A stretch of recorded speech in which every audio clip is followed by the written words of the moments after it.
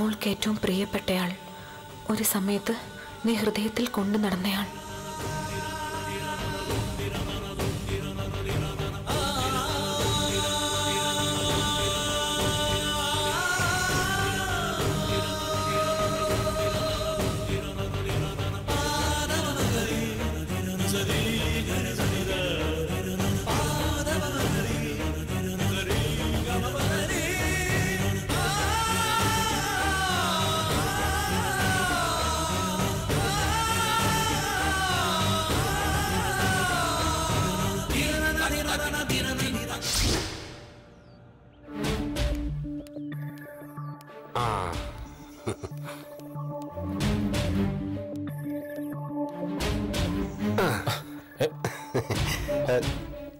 സുഖമല്ലേ സാറേ? ആ നിന്നെ പോലുള്ളവർ ഉണ്ടാക്കുന്ന അസുഖേ ഉള്ളൂ.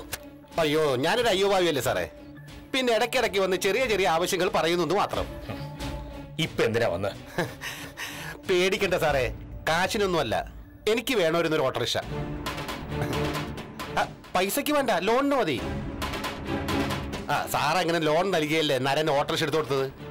അതുകൊണ്ട് അവൻ ഗുണ്ടാപ്പണിയൊക്കെ നിർത്തി മാന്യ മര്യാദയായിട്ട് ജീവിച്ചു പോണു. അതുപോലെ ഞാനും ഒന്ന് ജീവിക്കട്ടെ. ലോൺ വേണമെങ്കിൽ എന്തെങ്കിലും ഈട് വെക്കണം. അതിനുള്ള സ്വർണ സ്വത്തുണ്ടോ? ആകെപ്പാടെ ഞാനിട്ടിരിക്കുന്ന ഈ പാന്റും ഷർട്ടും ചെട്ടിയും മാത്രമേ ഉള്ളൂ. അല്ല ഈട് വേണമെന്ന് നിർബന്ധം തുടങ്ങി ഞാനിതിപ്പോ തന്നെ ഒരു തരാം. എന്തേ വേണ്ടേ? ശരത്ത് ശരത്ത്. എന്ത്? അല്ല ഈട് ഈട്. മനസ്സിലായില്ല. ശരത്താണ് എന്റെ ഈട്. അത് വെച്ചിട്ട് എനിക്ക് ലോൺ തന്നാ മതി. നീ എന്നെ തകർക്കാണല്ലേ സാറേ ഓട്ടോറിക്ഷ എടുത്തു കഴിഞ്ഞാൽ എനിക്ക് ജീവിക്കാനുള്ളതൊക്കെ അതിൽ നിന്ന് കിട്ടും. പിന്നെ മാസാമാസം സാറ് ലോൺ അടച്ചങ്ങ് തീർത്താ മതി. അക്കൗണ്ട് നമ്പറൊക്കെ ഞാൻ തരാം. സാറ് ലോൺ തന്നതിന് ശേഷം. ബുദ്ധിമുട്ടണമെന്നില്ല ഹോ, എന്റെ സാറേ ഛേദമില്ലാത്തൊരു ഉപകാരമല്ലേ? അതങ്ങോട്ട് ചെയ്തേക്ക്. കെട്ടിയോളുണ്ടാ? ആ ശരത്തിന്റെ കെട്ടിയോളേ സാറിന്റെ രണ്ടാം കെട്ടിയോൾ. അയാൾ ഇവിടെ ഇല്ല. ഏ ശരത്തിന്റെ കൂടെ ഒളിച്ചോടി പോയാ? ദോ, ഇതുപോലുള്ള സംസാരം നിർത്തു. എന്റെ ഭാര്യ രോഹിണി പോ ഓഹോ. അപ്പ ശരത്തോ. അയാൾ പറയുന്നത് അയാളുടെ ഭാര്യയാണെന്ന്. അല്ല അവകാശ തർക്കങ്ങളൊക്കെ നിങ്ങൾ തമ്മിലായിരിക്കും ഇപ്പൊ ഞാൻ പറഞ്ഞ കാര്യം നടക്കോ? താൻ നാളെ ബാങ്കിലോട്ട് വാ. ദേ വരുമ്പോ ഈട് കൊണ്ടുവരാൻ പറയരുത് കേട്ടോ പറഞ്ഞു കഴിഞ്ഞാൽ എനിക്ക് കൊണ്ടുവരേണ്ടി വരും. ഈടേ ഈട്. അങ്ങനെ കൊണ്ടുവന്ന് കഴിഞ്ഞ പലരുടെയും ഈട് ഊരി പോകും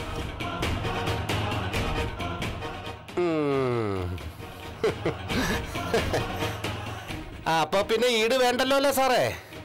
അല്ല നമുക്ക് നാളെ ബാങ്കിൽ വെച്ച് കാണാം. ഓക്കെ? പേപ്പർ വായിച്ചോ. വായന മുടക്കണ്ട. വായിച്ചോ. നാളെ കാണാം. ബാങ്കിലേ.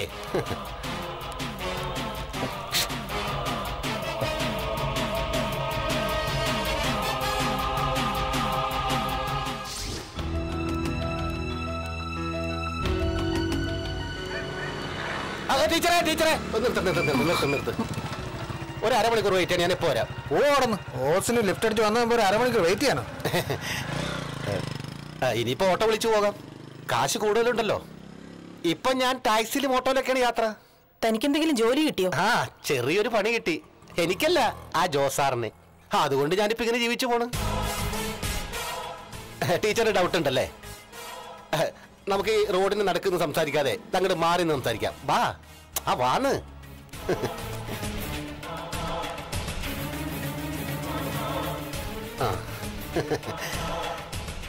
ടീച്ചറെ ദോ പതി ഏക് പത്നി. മനസ്സിലായില്ലേ ഹിന്ദിയ. രണ്ട് ഭർത്താക്കന്മാര് ഒരു ഭാര്യ. ആ രണ്ടുപേരും നല്ലവരാ. പക്ഷേ പത്നി ഇപ്പൊ ഒരാളുടെ കൂടെയാണ് താമസം. മറ്റേയാൾ വെറും ദർബേ കുജേ. പുറംപോക്ക് എങ്കിലും ഒരാൾ രംഗത്ത് വന്നാ പ്രശ്നം. ഇനി രംഗത്ത് വന്നെന്നിരിക്കട്ടെ. അബലയായ ആ സ്ത്രീ എങ്ങനെ പ്രതികരിക്കും? പറയൂ. കമോൺ പൂച്ചോ. കൂടുതൽ ചിന്തിക്കാനൊന്നുമില്ല ടീച്ചറെ. ചിലതൊക്കെ ഞാനും അറിഞ്ഞു കഴിഞ്ഞു. ഇപ്പൊ എനിക്കൊരു ബാങ്ക് ഉണ്ട് ആ ബാങ്കാണ് മറ്റേ ബാങ്ക് മാനേജർ.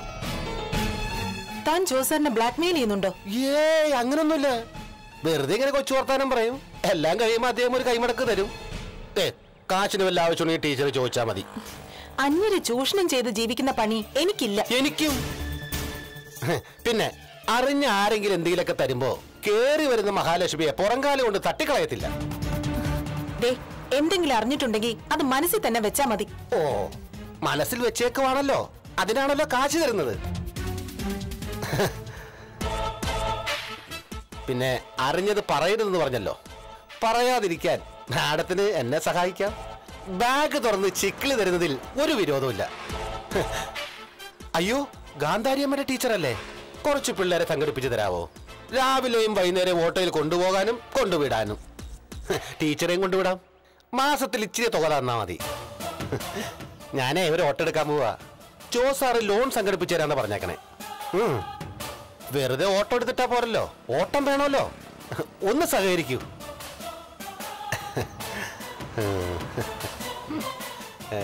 കൂട്ടുകാരി രണ്ടാമതും ഗർഭിണിയായി. ഒന്ന് മനസ്സ് വെച്ചാ ഞാൻ ഫ്രീയാ. അല്ല താലിയും കൂടി ഞാനവിടെ വരാം. അപ്പൊ പറയാലോ എനിക്കും ഒരു ആൺതുണയുണ്ടെന്ന്. അല്ല ടീച്ചറിനെ പറ്റൂലെങ്കിൽ വേണ്ട. മറ്റവളോട് പറഞ്ഞാൽ മതി രഹനയോട്. അവളും പോരാൻ നിറഞ്ഞു നിൽക്കല്ലേ അതെ പൊരനിറഞ്ഞേ അവിടെ വേറൊരാളുണ്ട് രഹനയുടെ ഉമ്മമ്മ. അത് മതിയോ? അയ്യോ വേണ്ട വേണ്ട വേണ്ട വേണ്ട. ആണിന്റെ മർമ്മം നോക്കി കുത്തുന്ന അവളെ ഏതെങ്കിലും മർമാണിക്കാരനെ കൊണ്ട് കെട്ടിക്ക്. അവരുടെ മരുമള വേണമെങ്കിൽ നോക്കാം. പോട്ടെ. ഇങ്ങനെയുണ്ട് ഒരു വൃത്തിയോട്ടവൻ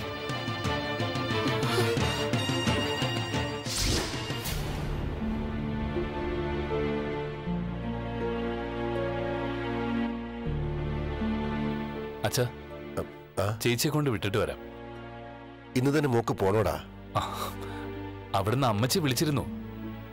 ഒരുപാട് നാളുകൾക്ക് ശേഷം അവരാഗ്രഹിച്ച കുഞ്ഞ് ജനിക്കാൻ പോവല്ലേ അതുകൊണ്ട് ചേച്ചി വീട് മാറി നിൽക്കുന്നത് വിഷമമായിരിക്കും. ഏഴാം മാസം ഇങ്ങോട്ട് വരുമായിരിക്കും അല്ലേ അക്കാര്യത്തിൽ ഉറപ്പൊന്നുമില്ല. പിന്നെ അങ്ങനെ ഒരു ചടങ്ങ് നടത്തി വിളിച്ചുകൊണ്ട് വന്നാലും അമ്മച്ചിയുടെ സ്വഭാവം വെച്ച് പെട്ടെന്ന് തിരിച്ചു വിളിച്ചുകൊണ്ട് പോകാനാ സാധ്യത.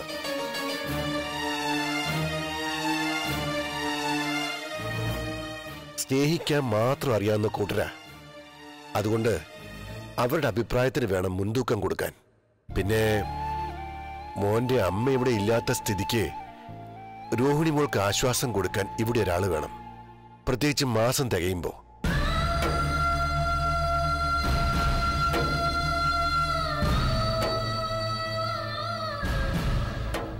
എന്ന് വെച്ചാ അതിനു മുമ്പ് ലീനയെ മോൻ കൂട്ടിക്കൊണ്ടു വരണമെന്ന്. പിന്നെ നിങ്ങൾ കൂടി ഒരു കുഞ്ഞ് ജനിച്ച ഇവിടെ കുട്ടികൾ എത്രയാ?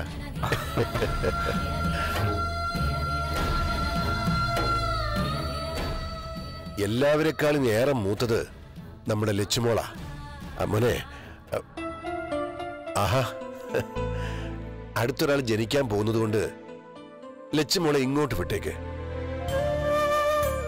ലീന പൊന്നുമോളെ വിട്ടുതരുന്നില്ല എന്നാ പിന്നെ ലച്ചുമോളെങ്കിലും മുത്തച്ഛന്റെ അടുത്ത് വന്ന് നിൽക്കട്ടെ.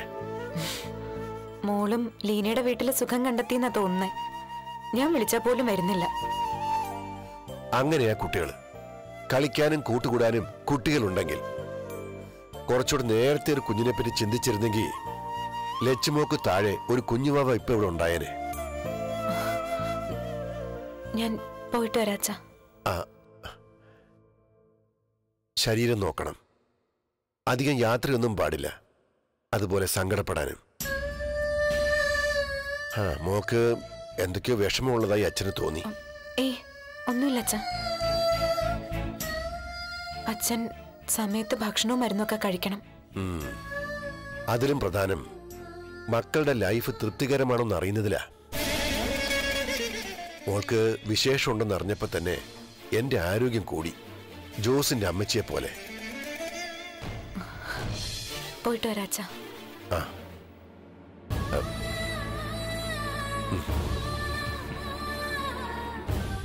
ഞാൻ വിട്ടിട്ട് വരാച്ചാ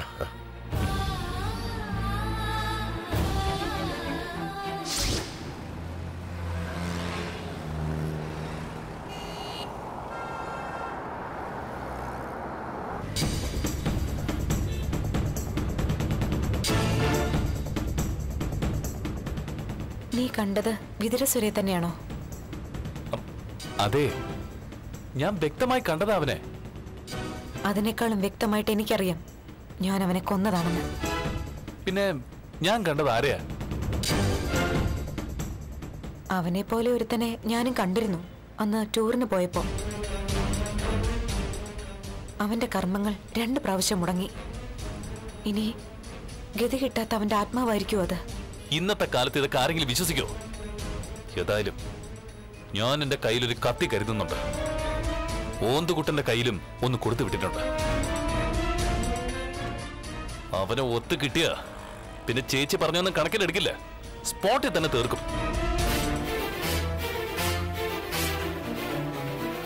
ഇനി അവനെ പോലെ മറ്റാരെങ്കിലും ആണെങ്കിലോ? എന്നാലും ഇത്രയും സാമ്യം വരൂ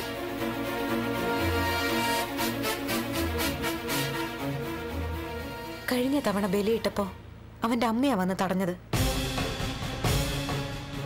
സമയത്ത് അവർ തറപ്പിച്ച് പറയുന്നുണ്ടായിരുന്നു. അവരുടെ മകൻ മരിച്ചിട്ടില്ലാന്ന്. അവർ പറയുന്നത് വിശ്വസിക്കണോ തള്ളണോ എന്നൊന്നും അറിയില്ല.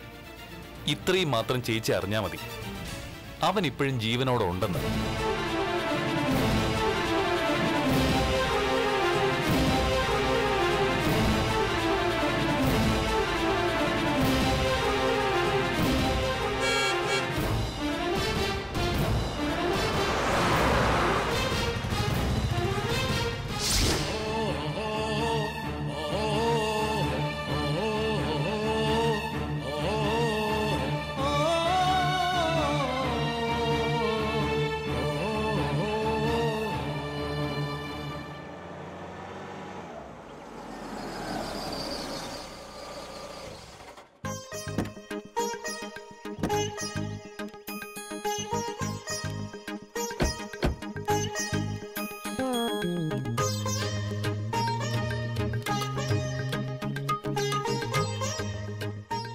ഞങ്ങൾ ഇങ്ങോട്ട് വരുന്ന വഴിക്ക് വിതുര സുരയെ പറ്റി തന്നെയായിരുന്നു സംസാരം. ഇടയ്ക്ക് വിളിച്ചപ്പോ ജോസാറിനോട് ഞാൻ പറഞ്ഞിരുന്നല്ലോ. ഞാനും അവനെ കണ്ടു. പക്ഷെ ചേച്ചി നിന്നിടത്തേനാ നിൽക്കുക അവനെ കൊന്നു പറഞ്ഞു. രണ്ടും ശരിയാവാ. അവനുമായിട്ട് സാമ്യമുള്ള വല്ലവരുമാണോ നിങ്ങൾ കണ്ടതെന്ന് പറയാൻ പറ്റത്തില്ലല്ലോ.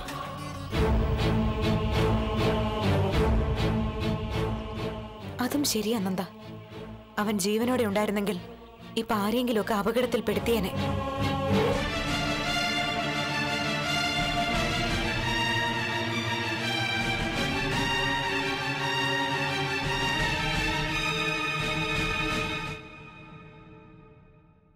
സാറേ എവിടെയോ എന്തോ പാളിച്ച പറ്റിയിട്ടുണ്ട്. അതെനിക്ക് ഉറപ്പാ. ഇനി അവന്റെ പിന്നാലെ നടക്കാത്തതാണ് നല്ലത്.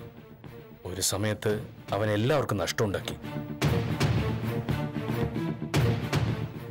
അവനെ ഭയന്ന എല്ലാവരും കഴിഞ്ഞ്. ഇനി അതിന്റെ ആവശ്യമില്ല. അവന്റെ പേര് പറയുന്നത് പോലും ശരിയല്ല.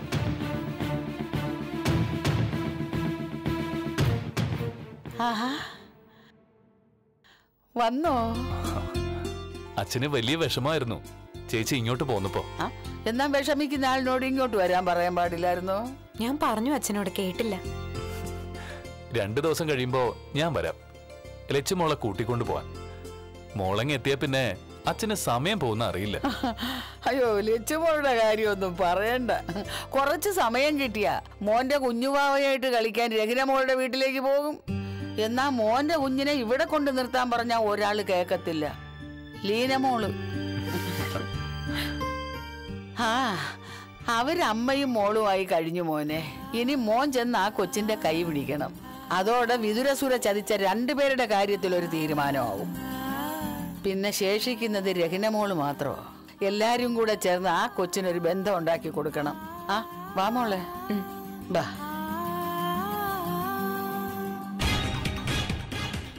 നന്ദൻ എവിടെ വെച്ച വിതുരസുരയെ കണ്ട്? ആ ഷൂട്ടിംഗ് കഴിഞ്ഞ് വരുമ്പോ പുതുപ്പള്ളിക്ക് അടുത്ത് വെച്ച. അവന്റെ കൂടെ വേറൊരുത്തനും ഉണ്ടായിരുന്നു. എന്നെ കണ്ടത് മുങ്ങിക്കളഞ്ഞു. ഒന്ന് കരുതിയിരിക്കണം സർ. അവസരം വന്ന കൊന്നുകളയണം.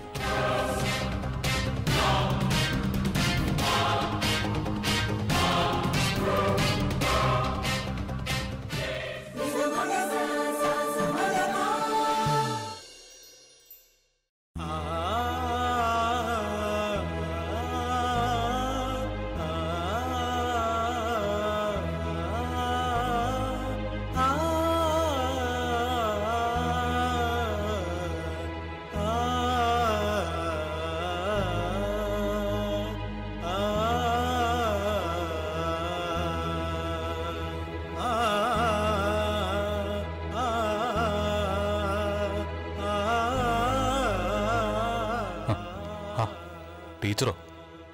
എന്താ ടീച്ചറെ? രോഹിണി എന്തെങ്കിലും പറഞ്ഞതിന്റെ ഭാഗമായിട്ടാണോ ഈ വരവ്? അല്ല ഞാൻ വെറുതെ ശരത്തേട്ടനെ ഒന്ന് കാണാൻ വന്നേ ഉള്ളൂ. ഇരിക്ക.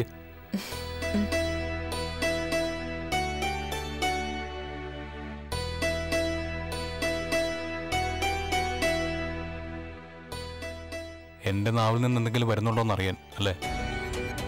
അങ്ങനെ ശരത്തേട്ടൻ പറയുന്നത് കേട്ടിട്ട് അത് പോയി മറ്റുള്ളവരുടെ അടുത്ത് പറയുന്ന സ്വഭാവം എനിക്കില്ല. എവിടെയൊക്കെയോ എന്തൊക്കെയോ കള്ളത്തരങ്ങൾ നടക്കുന്നുണ്ട്. അങ്ങനെയെങ്കിൽ അത് ഞാൻ പൊളിക്കും. ശരത്തേട്ടൻ വെറുതെ സാഹസമൊന്നും കാണിക്കരുത്. ആലോചിച്ച് മാത്രമേ എന്തേലും ചെയ്യാവൂ.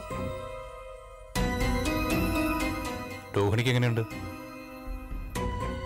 അല്ല അമ്മയാവാൻ തയ്യാറെടുക്കുകയല്ലേ? ടീച്ചർക്ക് അത്ര വലിയ സന്തോഷമൊന്നുമില്ല. ജോസാറിന്റെയും അമ്മച്ചിയുടെയും നിർബന്ധം അതിന് വഴങ്ങിക്കൊടുത്തു അത്രേ ഉള്ളൂ പല വാർത്തകളും കേട്ടു. അപ്പോഴൊന്നും ഞാൻ അനുഭവിച്ചിട്ടില്ലാത്ത വേദനയായിരുന്നു എനിക്ക്. അയാൾ പ്രഗ്നന്റ് ആണെന്ന വാർത്ത അറിഞ്ഞപ്പോ. ശരിക്കും അത് സത്യമാണോ? ആ ജ്യൂസും നരനുമൊക്കെ ഉണ്ടാക്കിയ കഥയായിക്കൂടെ അത് അവർ മാത്രം പറഞ്ഞെങ്കിൽ അങ്ങനെയൊക്കെ സംശയിക്കായിരുന്നു. ഇവിടെ ടീച്ചർ തന്നെയാണല്ലോ അത് സമ്മതിച്ചത്. പിന്നെ വിശ്വസിക്കാതെ എന്തു ചെയ്യും? ടീച്ചർ ഇനിയൊരു കുഞ്ഞിന് ജന്മം നൽകുന്നത് വിശ്വസിക്കാൻ പറ്റുന്നില്ലല്ലേ?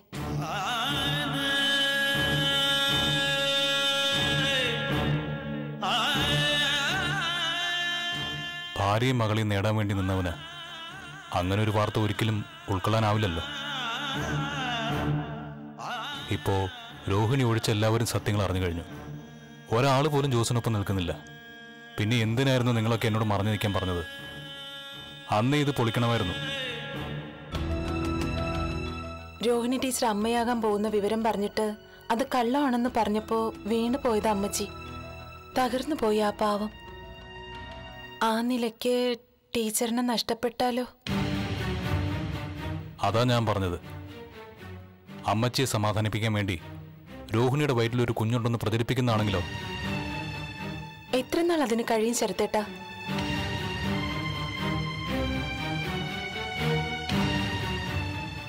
അന്ന് അമ്മച്ചി വീണതിനേക്കാളും ഭീകരമായിരിക്കും. രോഹിണി ടീച്ചർ സത്യങ്ങൾ അറിഞ്ഞ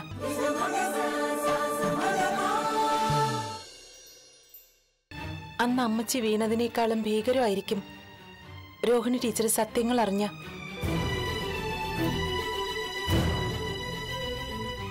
അതുകൊണ്ട് ഞങ്ങൾ അന്നേ മൂടി വെക്കാൻ പറഞ്ഞത്.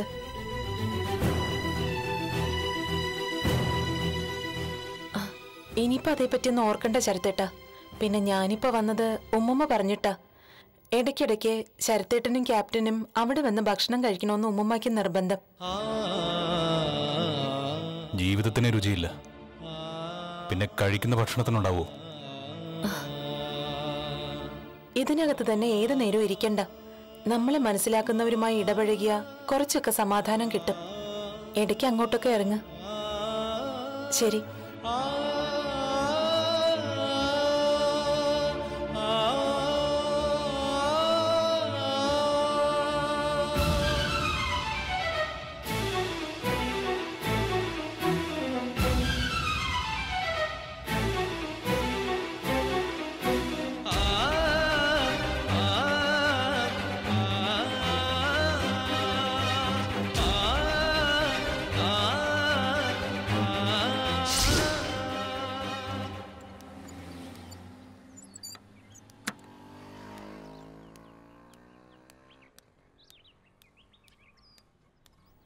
അല്ല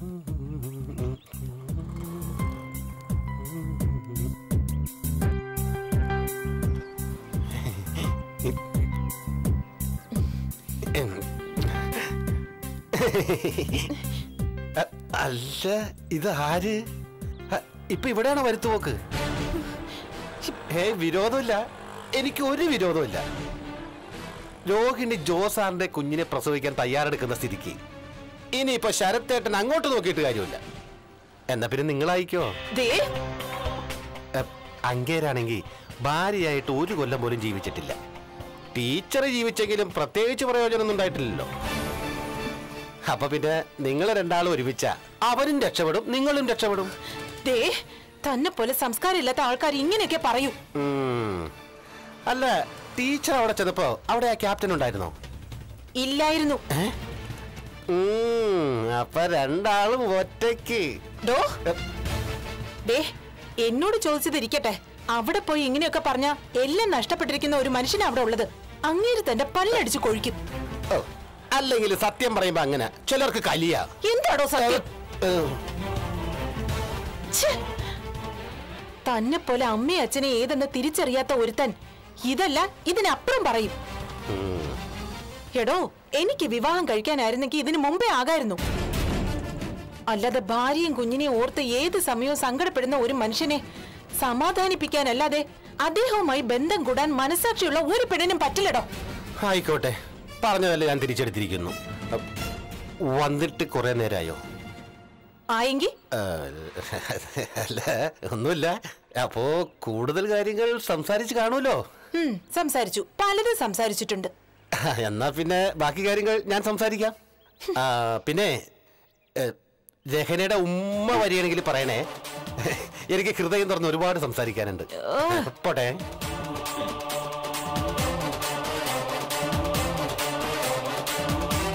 ടീച്ചർ ഇപ്പൊ ഒരു കുഞ്ഞിനെ പ്രസവിക്കാൻ പോകുന്നു. ഇനിയിപ്പോ ആ കുഞ്ഞും ജോസാറും ഒക്കെ ആയിട്ട് നല്ലൊരു കുടുംബജീവിതം നയിക്കേ. മറ്റവനോട് പോവാൻ പറ. എന്താണോ നിന്റെ പ്രതികാരം?